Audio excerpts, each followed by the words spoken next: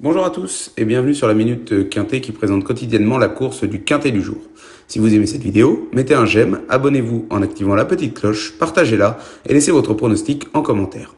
Un tirage au sort aura lieu tous les mois parmi l'ensemble des commentaires avec à gagner 6 mois d'abonnement VIP au site turf-fr.com composé de nos meilleurs pronostics.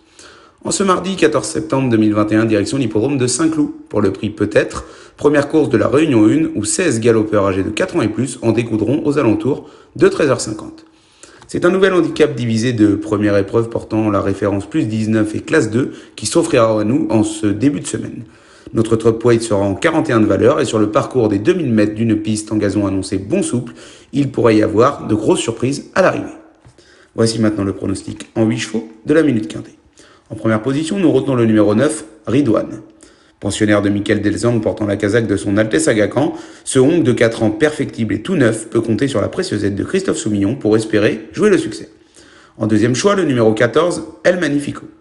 Avec classe à la corde, ce, pensionnaire pardon, de David Smaga peut avoir de hautes ambitions aujourd'hui. Christiane Demuro étant son partenaire, il faut le retenir en très haut. En troisième choix, retrouvons le numéro 15, Wood City.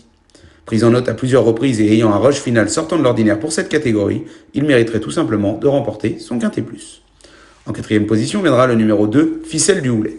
Cette femelle de 6 ans, fille d'Archive Marshall, a été montrée bien trop près la, la dernière fois. Cette fois-ci associée à Maxime Guyon, elle peut faire plaisir à Yann Barbero, son mentor. En cinquième choix, faisons confiance au numéro 5, Palus Argenteus. En grande forme puisque restant sur un succès, il peut lui aussi espérer doubler la mise aujourd'hui. Au sixième rang sera retenue la candidature du numéro 3, Episodia.